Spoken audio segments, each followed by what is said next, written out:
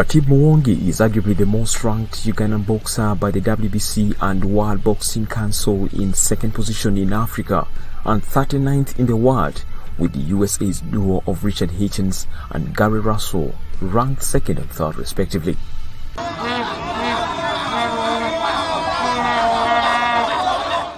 After earning all the bragging rights after the latest global ranking seated him among the world's boxers in the division, Ratib, commonly known as Dancing Master, is one of the most booked, with the latest being a fight against Kenyan opponent Paul Kimani in a 9 title fight.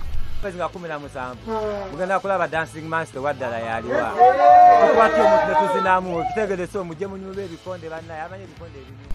Ugandan pugilist returns to the ring after his Ghana trip fight in February, where he lost to Faizo Abubakar for the WBO Africa Super Lightweight title at the Lord's Wembley Sukuru Arena in Accra, Ghana. Latib returns to his homegrown area Zana for the first time in a non-title fight as a way of paying back to his boxing community. Um, this time round, we have decided to organize this fight at Zana simply because our fighter comes from this area. Uh, we've organized so many fights for Latibu Muonge, and most of the fights have been away from where he comes from. So this time round, we decided that we should bring him back home, where he, where he has, where um, he's born, where he has been raised. He has so many friends here, and many of them have always failed to travel to Lugogo. Uh, recently, he traveled to Ghana. Not many of them could travel all the way to Ghana. So this time round, we decided to have him fight at home so that we can have him inspire other fighters, other talents that um, we can also also be, be, be able to um, find out other talents from ghetto. So that's the reason as why we are saying let's have Latibu Mwonge fight from Zana where he comes from. The reason why we have chosen to, to bring this fight home because I have been fighting for long. You know, I've been in boxing like for nine nine years, but I, I didn't fight any fight at home. So, but, but at this time, we are going to make it at home. I'm fighting from where I've grown up from, where I have started training from. So this time, expect to see the dancing master.